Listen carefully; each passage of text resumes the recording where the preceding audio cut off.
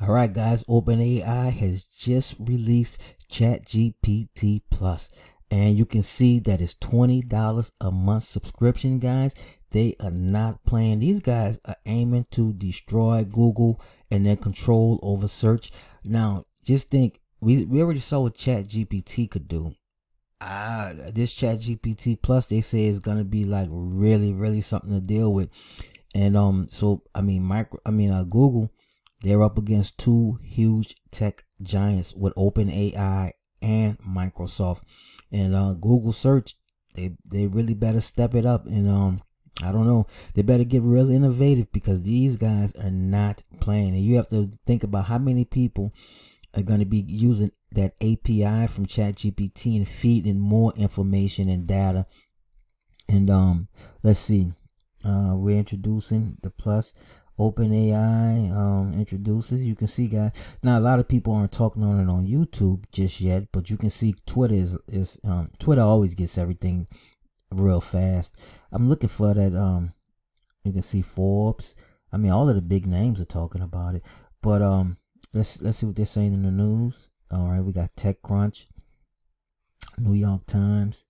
Well, you know TechCrunch, they got it six hours ago, so you know they're gonna get it first. Uh, let's see what they have for the news. Uh, same thing. Well, TechCrunch got it first, then a Verge. Okay, well these guys are on it, but I haven't seen very many people on YouTube. Let's go over to the website and check it out. Uh, okay, introducing ChatGPT Plus. We're launching a pilot subscription plan for ChatGPT, a conversational AI that can chat with you, answer follow it now. They're saying it can answer follow-up questions and challenge incorrect assumptions. Now, I don't think that the that the original ChatGPT, I don't think it it could um, challenge um, incorrect assumptions. Most of the time, it just apologizes instead of challenging you you're like, uh, you know, you could ask something and then be like, and then it was, in whatever answer we get, you, you'd be like, hey, you're wrong. You're like, oh yeah, I'm sorry, I apologize. I'm just a, I'm just a stupid AI. I, I, I didn't mean it. But maybe now it'll start challenging you and say, hey, you don't know what you're talking about. Um, let's see, the new subscription plan ChatGPT Plus will be available for $20 a month, and subscribers will receive a number of benefits general access to ChatGPT even during peak times, faster response times, priority access to new features and improvements. Okay, now ChatGPT Plus is available to customers in the United States, and we will begin the process of inviting people from our waitlist over the coming weeks. We plan to expand access and support to additional countries and, and regions soon. Guys, go over there and sign up. I signed up already. We love our free users and will continue to offer free access to ChatGPT by offering a subscription pricing. We will be able to help support free access availability to as many people as possible.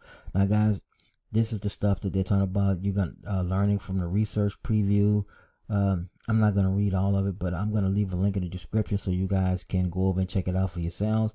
Our plans for the future. And um, yeah, guys, it's, it's not a whole lot, but uh, you can check it out, get on that wait list.